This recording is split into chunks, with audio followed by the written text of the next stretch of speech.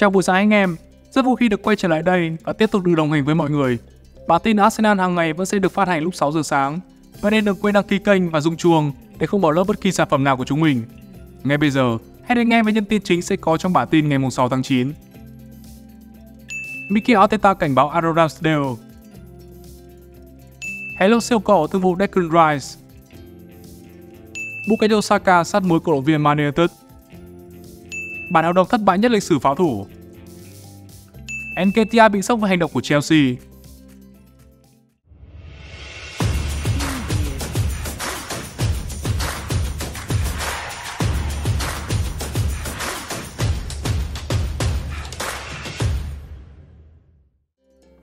Cuộc chiến không liệt trong cùng gỗ. Theo chia sẻ từ nhà báo Sami Mokbel, thủ môn Aaron Ramsdale đang đối mặt với áp lực ngày một lớn nếu muốn giữ được suất bắt chính của mình tại Arsenal.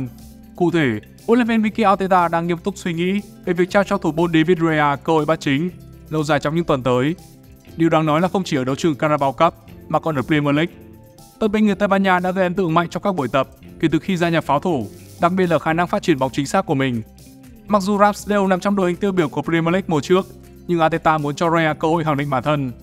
Khi được hỏi về sự xuất hiện của David Raya, Aaron Ramsdale chia sẻ trên ITV Lúc mới đến đội bóng, tôi cũng chiếu suốt bắt trí của người khác và hoàn toàn có thể nhận được kết quả ngược lại trong tương lai. Tôi biết rằng môn thể thao này chẳng có gì là dễ dàng. Hello siêu cò giúp Arsenal sở hữu bao gạo 100 củ. Đội chủ sân Everest đã vượt qua hàng loạt ông lớn như Man City, Man United hay Bayern Munich để sở hữu chữ ký của Declan Rice ở kỳ chuyển nhượng mùa hè vừa qua.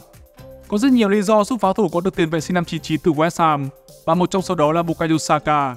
Đích thân cầu thủ chạy cánh sinh năm 2001 đã tiết lộ rằng anh đã thuyết phục Declan Rice chuyển đến Arsenal. Saka chia sẻ với tờ Talksport. Rice đã hỏi tôi một vài câu hỏi liên quan đến Arsenal và tôi đã trả lời một cách cụ thể nhất. Tôi chỉ cố gắng mang đến cho anh ấy rằng Arsenal là một câu lạc bộ phù hợp với Rice. Nếu anh ấy tham gia cùng chúng tôi, anh ấy sẽ giúp chúng tôi tốt hơn.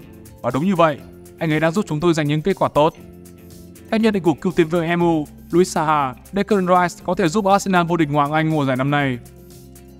Declan Rice đã có kinh nghiệm chơi bóng ở Ngoại hạng Anh có nhiều đồng đội ở tuyển Anh đã chơi cho Arsenal. Điều đó giúp Rice hòa nhập nhanh nhất có thể. Cậu ấy là một cầu thủ giỏi, rất mạnh mẽ và luôn thi đấu công hiến. Cậu ấy có thể cung cấp thứ mà Arsenal không có ở mùa giải trước. Ngoài tầm ảnh hưởng ở khu vực giữa sân, tôi cũng tin rằng Rice có thể ghi đến những bàn thắng quan trọng cho Arsenal. Cậu ấy có thể là sự khác biệt cho Arsenal trong cuộc đua danh hiệu nếu cứ tiếp tục chơi như thế này. Arteta hiểu rất rõ Rice, ông ấy sẽ phát huy hết khả năng của cậu ấy.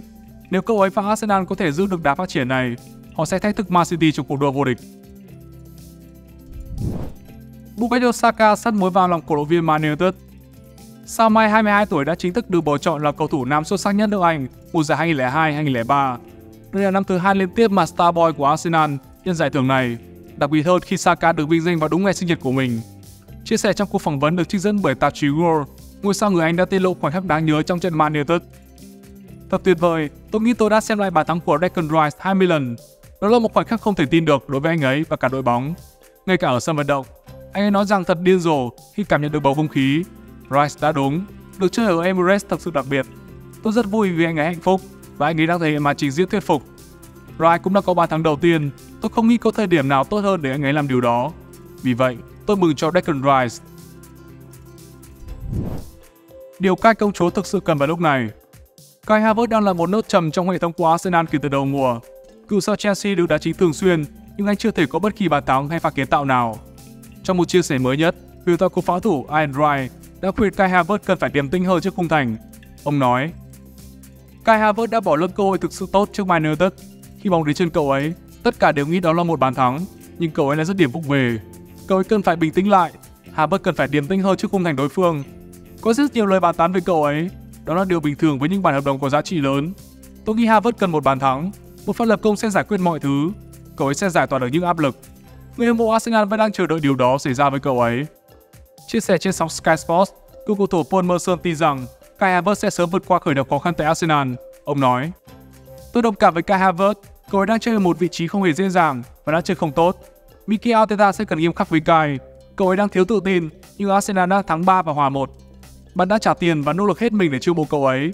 Tôi là một fan cuồng nhiệt của đội bóng này, nhưng tôi sẽ nói rằng khi cậu ấy ký hợp đồng, cái có vẻ ngoài giống Mesut Ozil nếu mọi chuyện không suôn sẻ, cậu ấy sẽ mất đi cảm hứng. Nó chỉ là bề nổi của sự việc và nó chỉ xuất hiện thoáng qua thế thôi. Theo quan điểm đến từ Gabriel Rapolao, Kai Havertz thực sự đã không thể thi đấu tốt trong vai trò tiền vệ trung tâm và đáng lẽ ra huấn luyện viên Mikel Arteta phải tạo điều kiện cho Emil Smith Rowe ra sân thay vì cựu sao của Chelsea. Đồng thời, Arbalao cũng lên tiếng khuyên nhủ Smith Rowe nên rời đi để tìm kiếm cơ hội thi đấu thường xuyên. Cựu tiền đạo người Anh nhận định. Tôi nghĩ nếu huấn luyện viên biết mình đang làm gì, Smithrow sẽ có nhiều cơ hội hơn. Havertz không thi đấu được trong vai trò đó, mọi thứ đã không hiệu quả. Smithrow chắc hẳn đang rất tức giận khi nhìn Havertz thi đấu. Ở tuổi 23 của Smithrow, bạn muốn được có mặt trong thành phần đội tuyển Anh và tham dự Euro, nhưng điều đó sẽ không xảy ra vì Smithrow không có thời gian thi đấu. Chắc hẳn cậu ấy đang rất thất vọng. Hãy nhìn vào Cole Palmer, dưới đây cậu ấy sẽ có nhiều cơ hội ra sân hơn tại Chelsea. Tôi nghĩ rằng đó là điều mà Smithrow nên thúc đẩy nhiều hơn nữa. Bạn cần có thời gian thi đấu ở tuổi 23, chứ không phải liên tục phải ngồi dưới bị như thế này. Sao Arsenal bị sốc vì không được Chelsea công nhận? Bộ đôi Eddie Nketiah và Declan Rice đều gia nhập học viện của Chelsea kể từ khi còn rất nhỏ, nhưng đã bị đẩy đi khi còn ở tuổi thiếu niên. Nketiah sau đó gia nhập Arsenal, còn Rice cập bến West Ham. Cả hai đều đã tiến bộ không ngừng kể từ khi rời học viện của The Blues. Nketiah đã chơi rất tốt trong máu Arsenal, khi Jesus chấn thương, anh làm tốt nhiệm vụ thay thế. Còn với Declan Rice, anh thăng hoa trong màu áo West Ham và mới được Arsenal chiêu mộ với mức phí 105 triệu bảng. Nhớ lại việc rời Chelsea 10 năm trước, Nketiah tin rằng điều đó đã giúp ích cho anh về mặt tinh thần. Ngôi sao của Tam Sư chia sẻ. Tôi nghĩ việc rời Chelsea khiến tôi quyết tâm hơn. Tôi đã ở đó từ năm 9 và đến khi 14 tuổi, tôi bị đẩy đi. Đó thực sự là một cú sốc vì lúc đó tôi đang chơi rất tốt. Declan Rice cũng thuộc nhóm tuổi đó và đã có trải nghiệm tương tự. Tôi sẽ gặp phải những thăng trầm trong sự nghiệp. Rõ ràng việc rời Chelsea ở thời điểm đó mang lại cho tôi thêm động lực và khả năng phục hồi khi khó khăn. Ngoài ra, Enketia cũng bày tỏ sự phấn khích khi có thể tái hợp với Declan Rice sau một thập kỷ. Anh cho hay. Đôi khi cuộc sống diễn ra theo cách mà bạn không thể tưởng tượng ra. Sau 10 năm, tôi và cậu ấy tiếp tục chơi chung câu lạc bộ, chung màu đội tuyển quốc gia. Cả hai chúng tôi đều sẽ chơi với quyết tâm cao nhất. Chắc chắn là như vậy. Bản hợp đồng thất bại nhất lịch sử pháo thủ. Theo quan điểm đến từ nhà báo Dean Jones, một trong những lý do khiến Nicolas Pepe trở thành bom xỉ tại sân Emirates xuất phát từ chính sách chuyển nhượng thiếu hợp lý của Arsenal trong quá khứ. Ký giả người Anh nhận định. Pepe là một trong những bản hợp đồng thất bại nhất lịch sử Arsenal, nhưng nó cũng phản ánh vị thế của đội bóng vào thời điểm đó. Tôi sẽ đổ lỗi trong mô hình chuyển nhượng của câu lạc bộ hơn là bản thân cầu thủ này. Trong mùa giải trước khi Pepe cập bến Premier League, tôi đã theo dõi cậu ấy thi đấu nhiều lần và cậu ấy rất xuất sắc.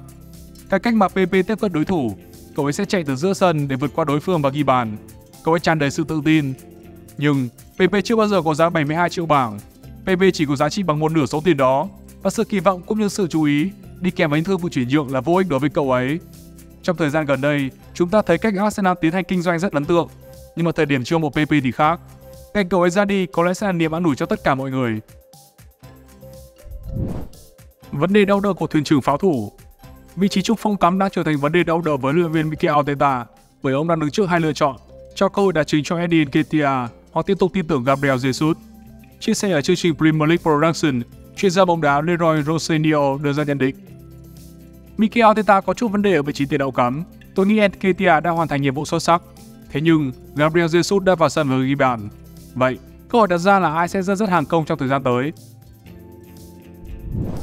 Sao mai pháo thủ được đánh giá rất cao? Charlie Patino đã nổi lên trong mò Arsenal từ lâu, nhưng huấn luyện viên Mikel Arteta cảm thấy còn quá sớm để sử dụng anh ấy thường xuyên trong mùa giải này. Đó là lý do tại sao Patino được gửi đến Swansea dưới dạng cho mượn, nơi anh đã lập tức để lại dấu ấn với ba đường kiến tạo sau 4 trận đấu. Chứng kiến màn trình diễn đầy hứa hẹn của sao mai này, tuyển trạch viên và người trung gian Michel Ferratini đã trả lời. Có lẽ đã có muộn để giới thiệu cậu ấy, nhưng tôi không thể ngừng làm điều đó được. Charlie Patino, sinh năm 2003, thuộc sở hữu của Arsenal. Cậu ấy là một trong những tiền vệ hay nhất lúc này. Thuận chân trái, rất hoàn thiện, rất thành thạo trong việc thu hồi bóng, chơi bóng dài rất tốt và xuất xa xuất sắc. Tôi chấm 5 sao cho cầu thủ này. Cậu ấy là một viên kim cương. Tôi đã gặp cậu ấy 2 năm trước, nhưng bây giờ cậu ấy đang ở Arsenal, một trong những đội bóng lớn nhất nước Anh. Để có được Patino, nếu tôi là chủ tịch, tôi sẽ làm những điều thật sự điên rồ. Cựu sao Man City cảnh báo hay cẩn thận Arsenal. Theo nhận định từ một người cũ Man City là David Silva, Arsenal là đội bóng duy nhất có thể đe dọa ngôi vương Premier League của The Citizens ở mùa giải năm nay. Trao đổi với tờ Mirror cựu tiền vệ người Tây Ban Nha chia sẻ. Man City là một đội bóng gồm nhiều cầu thủ tuyệt vời. Đây là một giải thứ 8 của Pep tại Etihad.